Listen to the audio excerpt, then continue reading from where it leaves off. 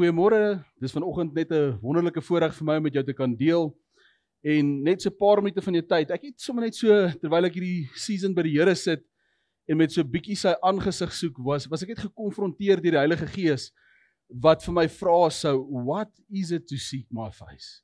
Matthys sê soek my aangesig. Hoe lyk dit? Waarom? Wat wat gaan aan? En ek meen ek, ek gaan so een of twee bekende skrifgedeeltes vanoggend met jou deel. Maar hy hy maak 'n stelling en hy sê When I shut up the heavens so that there is no rain, or command the locusts to devour the land, or send pestilence amongst my people. En in 2 Kronieke 7:13 waar hy hierdie stelling maak en hy praat van die hemele wat toegesluit word. Ons het al ervaar in ons land dat daar droogte is. Ons het al ervaar dat daar by ons 'n pestilence deurgekom het en ek meen op die oomblik sit ons met hierdie ding in ons midde, hierdie COVID ding. Ek is in 'n in 'n huidigelik in 'n groot stryd wat ek vir die Here vra Dad, U moet met ons harte praat. Ons mense gaan verlore. Ons is men, ons is besig om mense te verloor en ek ek ek wil 'n oproep doen op die kerk. En die Bybel praat spesifiek dat wanneer God hierdie goeters toelaat onder sy mense. En ek sit en ek sê Here, ek het 'n vraagteken. Ek ek verstaan nie hoekom dit aangaan nie. Nou wil ek die volgende gedeelte vir jou lees wat baie bekend is. Hy sê if my people who are called by my name humble themselves. Hy praat van iets van my mense as my mense wat deur my naam geroep word, hulle self sal verneder and pray and seek my face and turn from their wicked ways. En ek sê Here, wow, ek ek ek sukkel met die gedagte. How is it that the church is in a sense wicked? That the people that is called by God's name is wicked. En ek hoor net hoe die Here vir my sê, then I will hear from heaven and I will forgive their sins and heal their lands.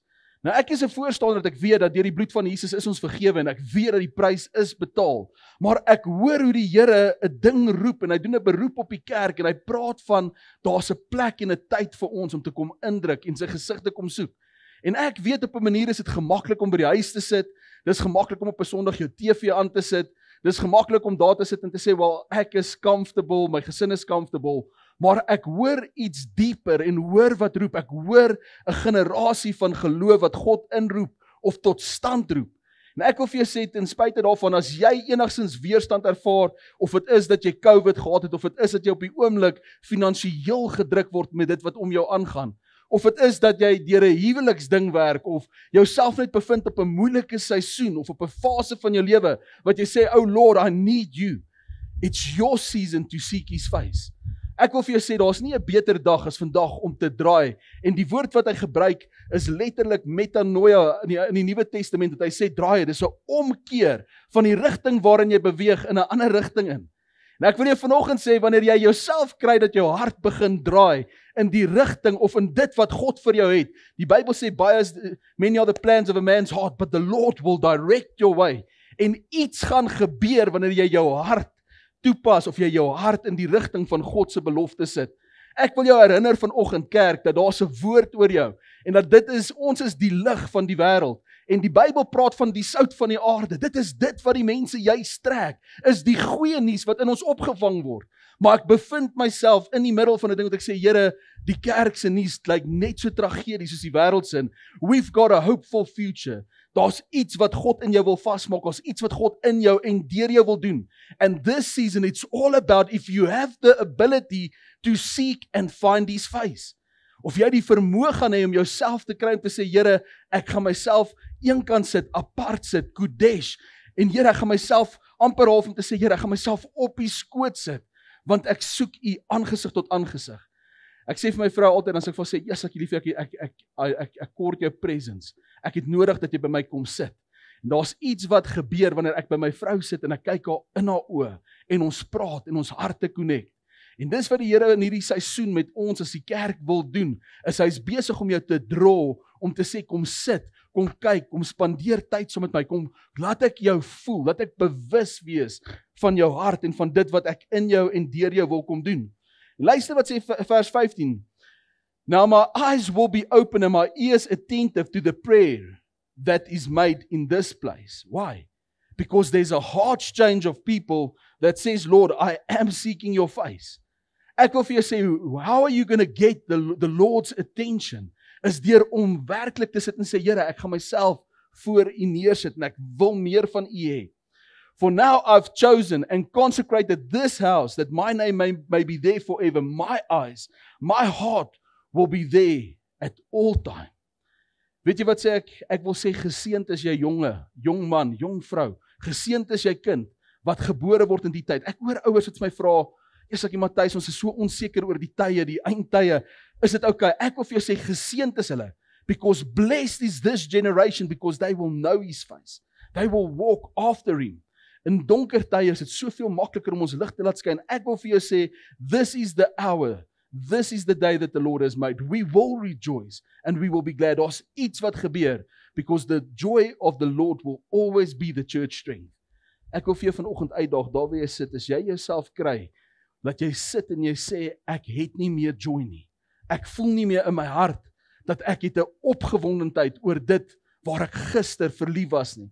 Matthys, my eerste liefde het koud geword. Dan wil ek jou vanoggend vra of jy nie saam met my net vir 'n oomblik net sal toelaat dat ons net weer in sy oë kyk.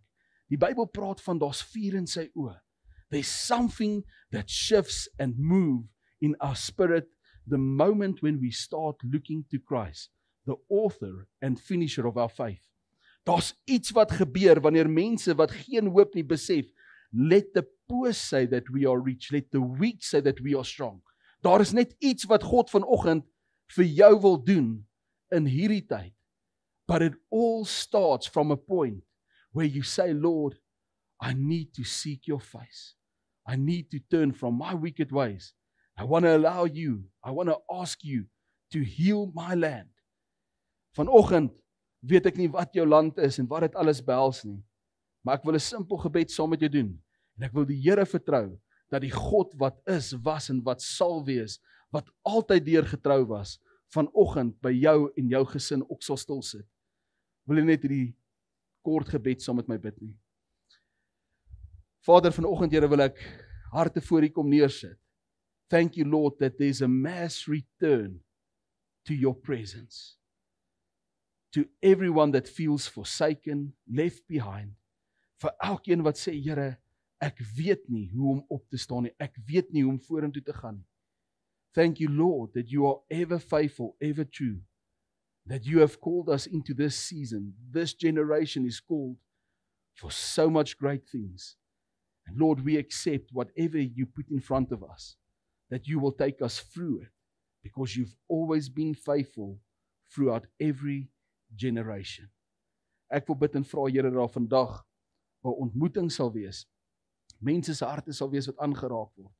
En mense Vader wat they will be established to seek your face in this season. In Jesus' mighty name. Amen. This is